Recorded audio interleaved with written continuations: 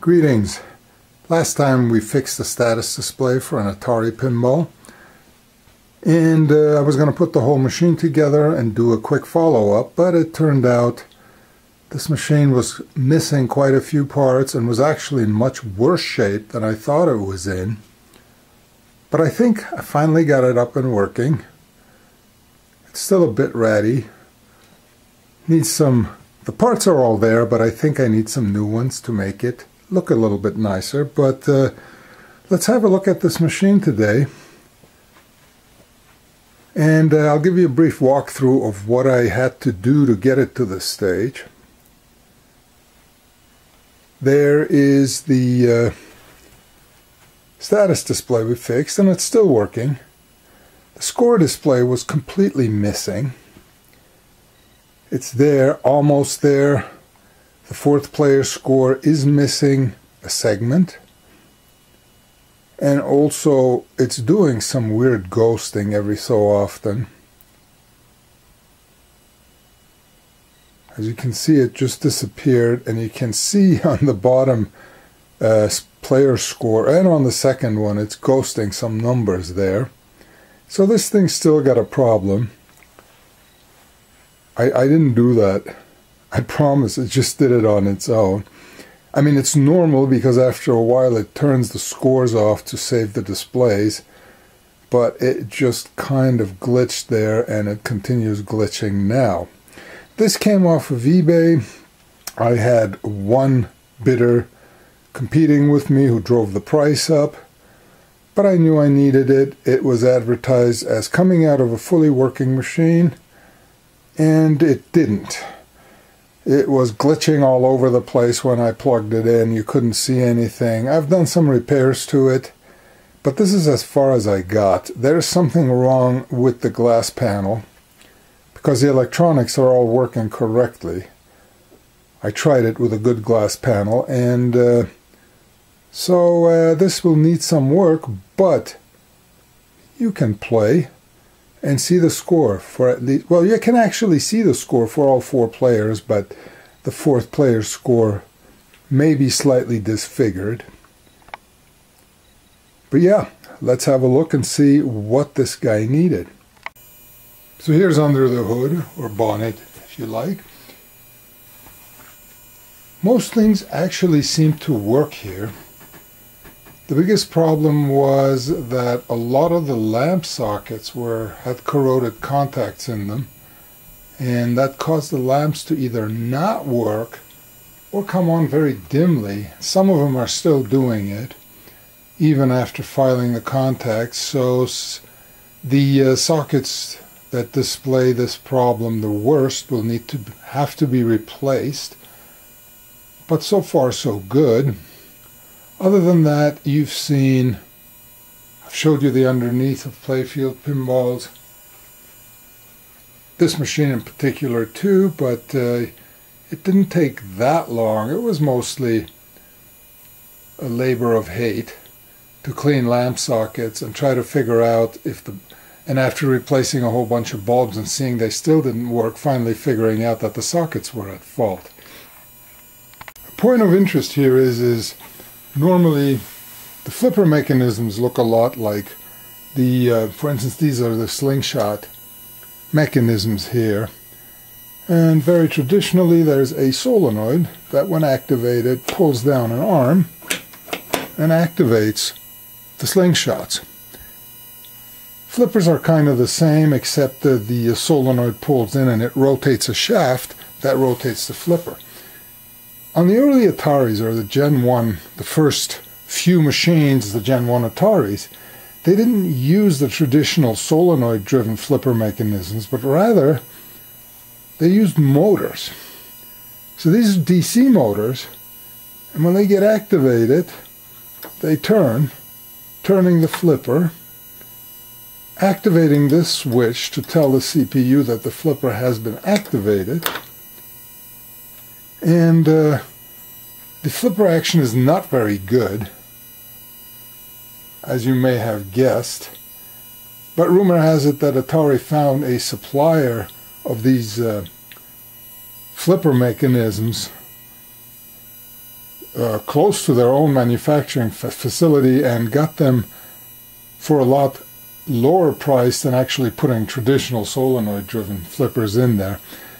This machine was what the third machine Atari built and uh, these motors all started to fail. They had a very high failure rate and uh, in the middle of the production run on this or on the next machine they switched over to traditional flipper mechanisms. These, I got these to work. They weren't working very well, but uh, I cleaned up everything. I uh, fixed the shafts on them, and they work reasonably well. So I'm going to leave them in. And you can see they use that approach for other things too. This thing here kicks the ball. When the ball lands in the out hole, which this is, normally you got a coil here that that sits, I guess, up here, and it kicks the ball so it goes to the feed lane. Well, they use another one of the motors here, and when it's activated, it goes up, puts up this little arm, and kicks the ball in. There's one other instance, I don't know if that shows up, it's kind of hidden behind the ribbon cable. But there's a ball saver gate, which we can see on top later on, over here. And that one also utilizes a motor. When it's on, it rotates to move the gate over. And when it lets go, it pops back into place. The rest of the uh, as a matter of fact, it's using the motors even more. There are some further down the playfield that kick out the balls. There are two holes, saucers that the ball can land in, and they have those motor assemblies. Again, one here and one back there that kick the ball out of the saucers, and the rest of the mechanisms are traditional solenoid driven uh, uh, pop bumpers, and uh, whatever else needs power. But that that was one of the oddities in these Bally's, and they did uh, they did finally come to their senses and started using real flipper mechanisms. But hey, they work, and we got to keep things original. Other than that, we had the main CPU board uh, that was very, very dirty. And now it's only very dirty. But all that was wrong with it was that you can see the heatsink in the back left of the board. And it had lost the 5 volt regulator. All it needed was a new regulator and it sprung back to life. And all of the edge connectors on there, especially for the lights also, uh, since the board was so dirty, there was a lot of dirt on the edge fingers and things just weren't making proper contact. So scrubbing those clean did actually originally bring back a lot of lamps to life after I had uh, cleaned the sockets. There are the two connectors on the right and on the left are the solenoid connectors and uh, hidden partially by the ribbon cable there's another connector that is the uh, switch matrix. Following on, the massive transformer assembly. That thing's heavy. I mean, most pinball machines have pretty massive transformers, but this thing, you probably block a door with it, nobody could get in. And what was remaining, there's the auxiliary board over there. What that board does is basically it does all the tasks that the main CPU board they couldn't fit on the CPU board. I didn't want to. It has the, the voltage supply and the control for the lamps. It generates plus minus 90 volts for the displays and uh, has sound amplifiers and stuff like that, or amplifier on it. And that one didn't need anything. Any repairs, of course. One other thing I failed to mention was uh, the machine was inhabited by non-human squatters. Uh, it had been cleaned before I bought this machine. It had been vacuumed. There's still traces of, there were still traces of lots of things in there. Took me a while to vacuum them all out. But as you can see, uh, clear proof is right here. This is an uh, instruction sheet for adjusting machine parameters that was mounted in here at some point in time. And uh, I guess uh, when the mice were reading this, they got excited and started snacking on it. But yeah, that got cleaned out. The inside of the cabinet got scrubbed down. Doesn't smell bad. But yeah, I guess the guy who sold me the machine saw me coming from miles away. The cabinet is in surprisingly good shape. From all of the uh, layers of dust, I figured out that the machine was basically sitting on its back end, without the legs of course. The uh, playfield the, the playfield glass was missing, so it sat there without a playfield glass and must have been incredibly filthy. But uh, it had been cleaned up hurriedly before I bought it, so it didn't look too bad, and the playfield cleaned up pretty nicely.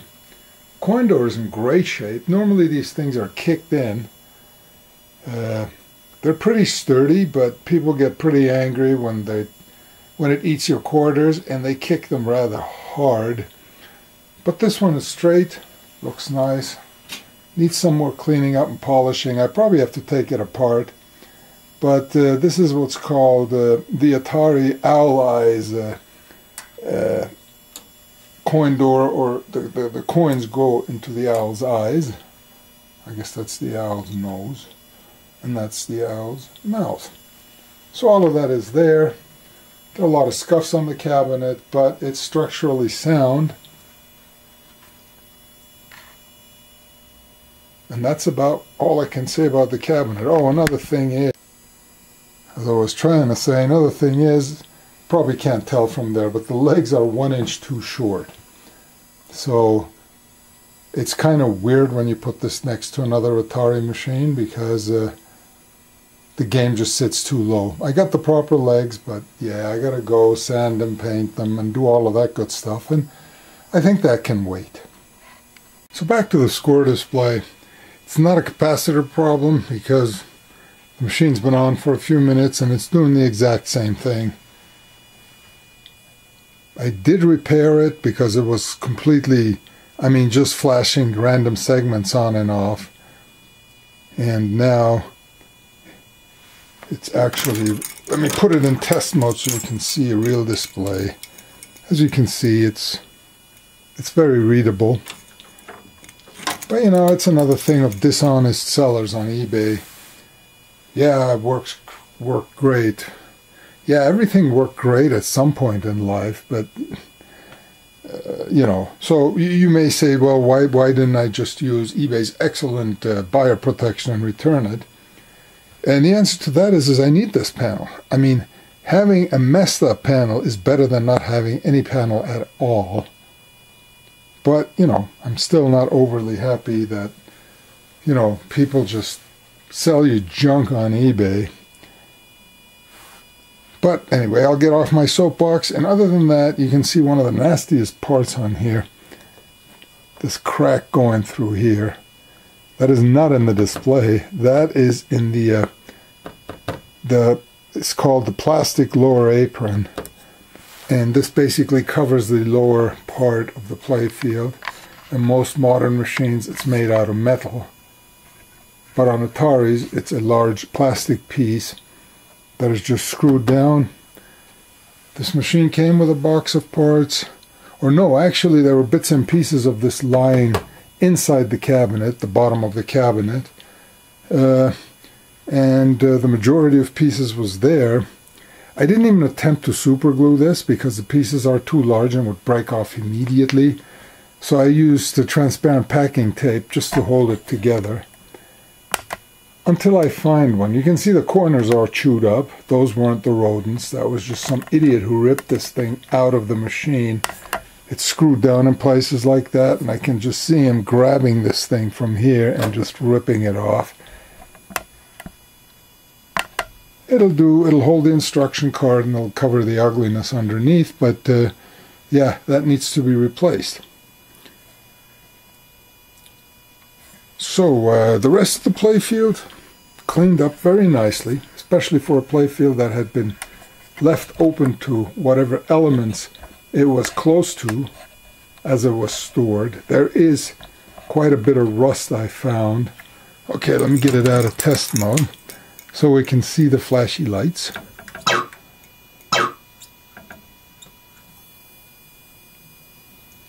It cleaned up nicely. The rubbers were petrified and crumbling. The rubber rings. These things and uh, those got replaced everything got cleaned up you can see it's nice but some of the bulbs on the very top of the playfield they were working perfectly when I cleaned it up and they're failing one by one and uh, some of them when you tap them they come back on. So those sockets are really badly corroded. But other than that things look kind of things came out pretty nice. So what I need, of course, yeah, I think the, the thing that's needed most is the lower apron cover and a working display. But uh, the machine's fully playable and uh, it'll probably go next to the other two Ataris I have left. Another one saved from the uh, garbage dump. First, a little history on this game. This was designed in 1977 by pinball designer named Steve Ritchie. Steve Ritchie has become one of the most well-known designers of pinball machines and uh, supposedly this was the first commercial pinball machine he designed. It uh, one of his trademarks are shots that I shall call bait and switch, or more accurately, bait and sacrifice. He will put a shot on the playfield that will give you lots of points. In this case, the captive ball right in the middle. If you hit it right on and hard enough, it'll travel all the way up over the rollover and hit the target back here. Adds to your bonus, adds points, and it's generally very good uh, for your score in general. But as you probably would have guessed by the geometry of this, if you make the perfect shot where the ball you're hitting lands right in between these two posts, it will propel the ball up and it does need a bit of force to make it all the way up and hit this target and activate it. But guess what? It'll come straight down and drain. So the bait are the points you can make and the switches or the sacrifices that there's a high chance of losing the ball. But that's not all. Because of the proximity of these two posts to the flippers, this is a pretty short distance. If you don't make the shot right, these posts will make the ball go off in weird trajectories, which more often than not will result in the ball draining out the left or right side he kept up that tradition, and uh, most of his games have one or more of these uh, bait and sacrifice shots in them. And uh, that's just a trademark of his. This game in particular shows that he was still a bit green when he designed this. But historic, it's a historically significant game. So let's have a look and see uh, if we can get bait, baited and sacri- baited and sacrificed by the design of this playfield. Some of my viewers who are young and have much better hearing than me will probably be bothered by the high-pitched noise that the machine is emitting. This is caused because of lamp switching on and off.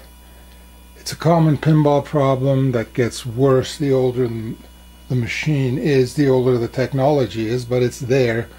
Tomes have been written on the internet about how to defeat it, but uh, I have been unsuccessful in getting rid of that noise here, so it is what it is, but at least when you're playing a game, you can't really hear it. So let's give it a whirl.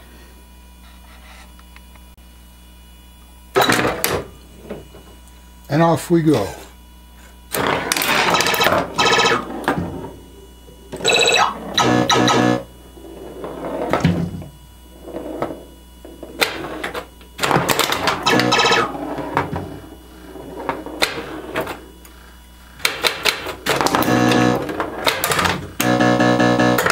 That was a perfect bait and uh, sacrifice.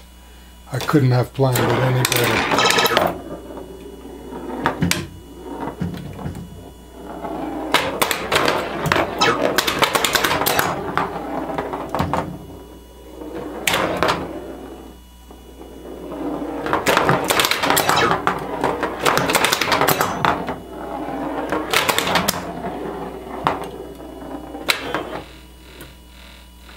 Can see, there's a lot of open spaces on the playfield, and there are long periods of time where the ball really doesn't do anything, then just roll around. Uh, this is a super wide body machine, and I think if they had made a normal sized, width sized machine, the action would have been a lot better. But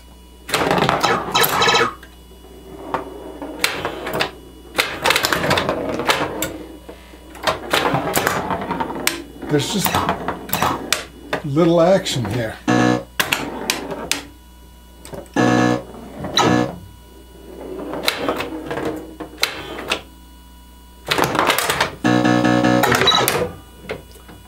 So that was the second one.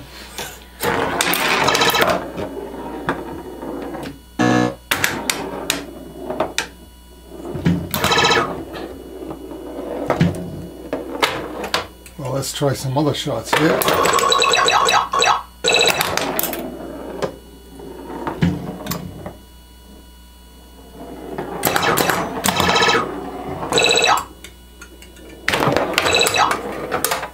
And there was a bait and sacrifice out of the left side.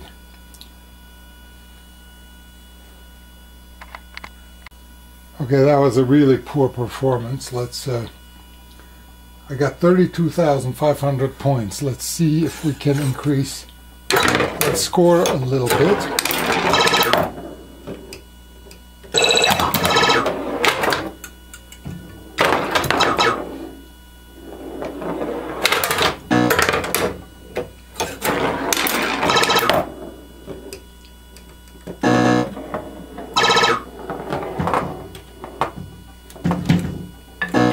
Ha.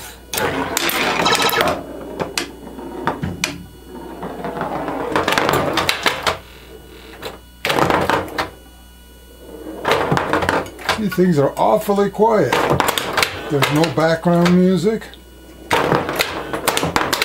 And it's not hitting too many things on the playfield.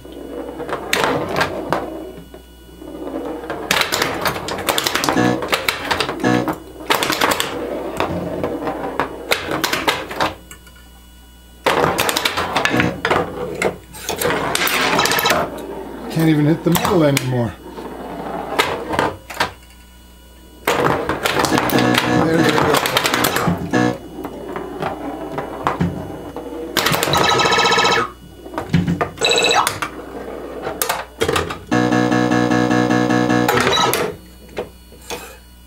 26,800.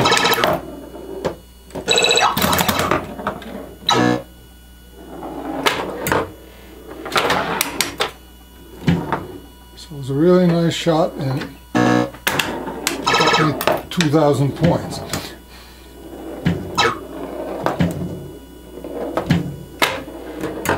Come on, we only need 2,000 more.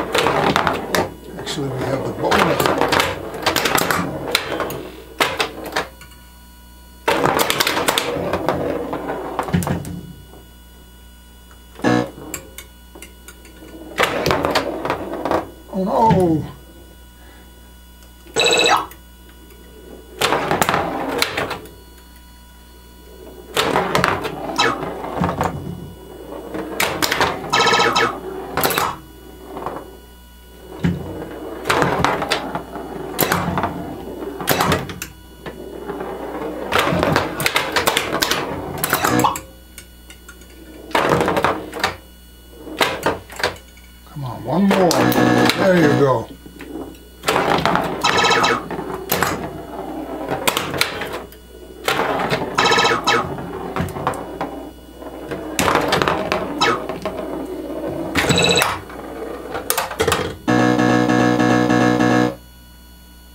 I beat my last score. I got 52,540 points, but as you can see, no matter how much I tried, the play action, there's a lot of dead ball time on this thing.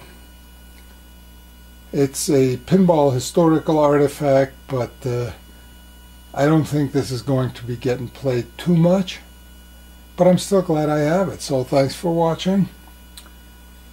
Please leave a thumbs up a comment, a like, and share it. And we'll see you next time.